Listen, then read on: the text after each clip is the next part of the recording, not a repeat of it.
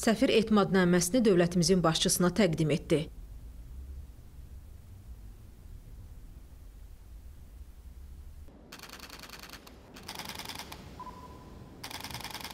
Prezident İlham Əliyev səfirlə söhbət etdi.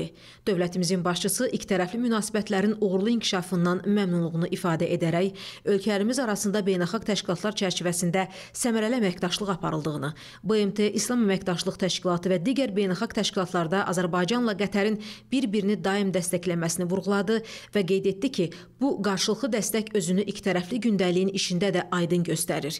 Növbəti illərdə artıq iqtisadi ticarət münasibətlərinin inkişaf etdirilməsi məsələlərinə diqqətin artırılmasının zəruriliyini bildirən Prezident İlham Əliyev investisiya qoyuluşu sahəsində əməkdaşlıq üçün yaxşı imkanların olduğunu dedi.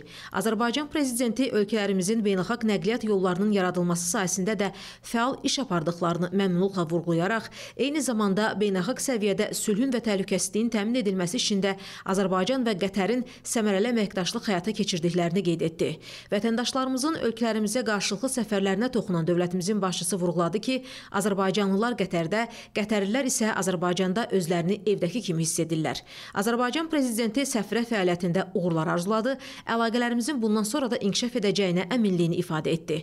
Xoş sözlərə və qəbula görə minnətdarlığını bildirən səfir Qətər dövlətinin əmiri Şeyx Təmin bin Həməd Əl-Taninin salamlarını dövlətimizin başçısına çatdırdı. Prezident İlham Əliyev salamlara görə minnətdarlığını bildirdi, onun da salamlarını Qətərin əmirinə çatdırmağı xahiş etdi.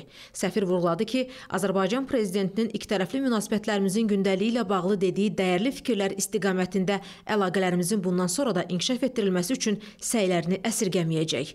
O, iqtisadi-ticari əlaqələrin önəminə toxunaraq investisiya sahəsində əməkdaşlığın inkişafının əhəmiyyətini qeyd etdi.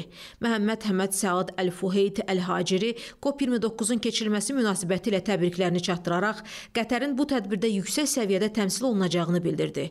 Dövlətimizin başçısı COP29-la bağlı hazırlıq işlərinin yekun mərhələdə olduğunu qeyd etdi. Görüşdə qarşılıqlı sərmayələr, turizm, nəqliyyat və digər sahələrdə əməkdaşlıq məsələlərinə toxunuldu.